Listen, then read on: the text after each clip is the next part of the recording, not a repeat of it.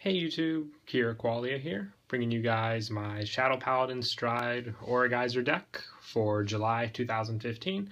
Uh, it's a lot of fun. It's more of a defensive playing style Shadow Paladin at the moment, uh, but basically it revolves around using Claret Sword, your uh, grade 3 Stride, um, break stride card with the, all your different shadow paladin strides to get a lot of draw power and call power off. So let's go ahead and get through the deck profile.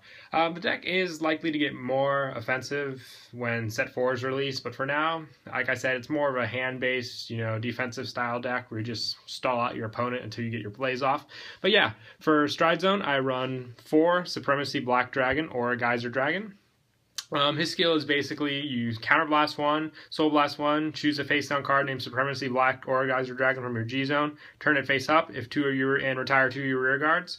Uh, when he attacks, you may pay the cost. If you do, reveal two cards from the top of your deck. Uh, if they're grade 1 or less, he gets plus 5,000 for each grade 1 or less revealed. You add those cards to your hand. So he's pretty much, you know, you sack two, get two back to your hand. So you want to make sure you attack with a rear guard first before you kill them so you get the full use of those cards, basically. And then after um, you add the cards to your hand, you also get triple drive. So in total, you're getting five cards guaranteed off his effect. So it's really good. It's kind of a heavy cost to do everything, so you want to make sure you, you know keep your resources good. And I also run one Dark Knight Grim Recruiter. This guy's good for um, Superior Calling uh, late game if you don't have Counterblasts. Same with Dark Knight. And I also run two Dark Dragon Phantom Blaster Diablo. Um, mostly running these two uh, just for filler at the moment. I do want to get one more Dark Knight and one more Grim Recruiter, so the full deck will be until set four, four Geyser, two Grim Recruiter, and two Dark Knights. It's just, you know, a different, more pure Claret Sword type of build that I enjoy. And we'll get on to the main deck. I run four Claret Sword, uh, probably the main grade 3 of the deck.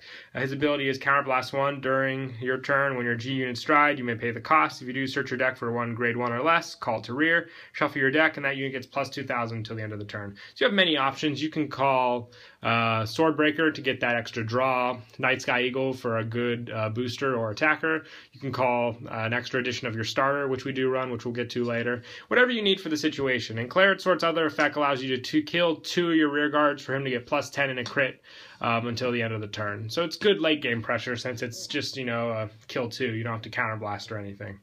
And I also run four Bad Kabar. I like running this card as my backup grade three, basically because he is also rear guard pressure, which you know a lot of decks now rely on for their grade threes to have a good grade three vanguard and then also have you know a good uh, grade three rear guard, just for you know for those extra plays. And he, he basically helps uh, to call additional grade ones with the cost of one counterblast if his attack hits.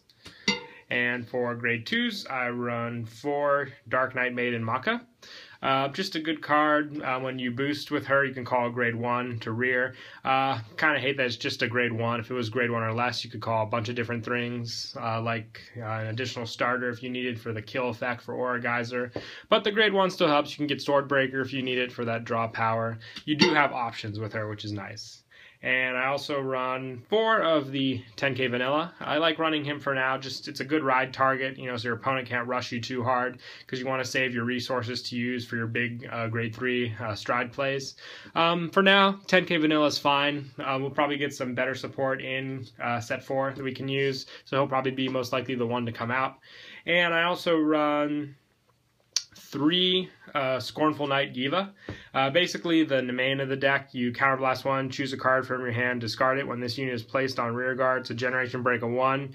You may pay the cost if you draw two cards. I like that she's at 7k. You know, she can hit pretty good numbers if you have Night Sky Eagle behind her with an 11k base. So all in all, a good card just for recycling cards. And then for grade ones, I run four of the damage on flipper uh, perfect guard, Karma Collector. Um, once again, counterblast heavy deck, so that card's definitely require, required. Four of the Stride Enabler, Cherishing Knight, Branwen.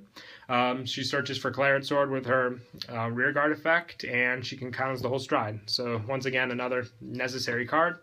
And I also run three Swordbreaker. I like three just because uh, four is kind of a dead draw. You don't have too many you don't have too much soul to rely on. Most of the soul does go towards Aura Geyser as well. So can't be using her too much. And I also run two Night Sky Eagles. Uh, these cards are just good when you call them from your hand or from your deck using Claret Swords and 11k booster or attacker. And for grade zeros, I run two Promising Knight David. Um, I like running one for the starter, then just having an additional one I can search for in the deck for kills. Uh, it's a generation break of one. He can be counted as two sacrifices for a card effect. So great for Geyser. If he boosts a card for an attack, you can end up just killing him to get Geyser's effect off, so you don't minus yourself at all. It's a plus with Geyser's ability. Uh, great card to use. And for triggers, I run four Grim Reaper four Revenger Undead Angel. Uh, for Howl Owls, this card is definitely required for this deck just because he's a put it in a soul effect. Um, basically, you know, Howl Owl helps just to prepare the soul if I need it for Geyser because your starter does not go back into the soul, so you can't build it up with that. So you just have to rely on your grade 1 and 2 mostly for the soul effect, which if you use, you know, Swordbreaker at all with Claret Sword, if you don't have Howl Owl or unless you ride again, you're not going to be able to get off Geyser the second time around. And also for Abyss Healer as your heal.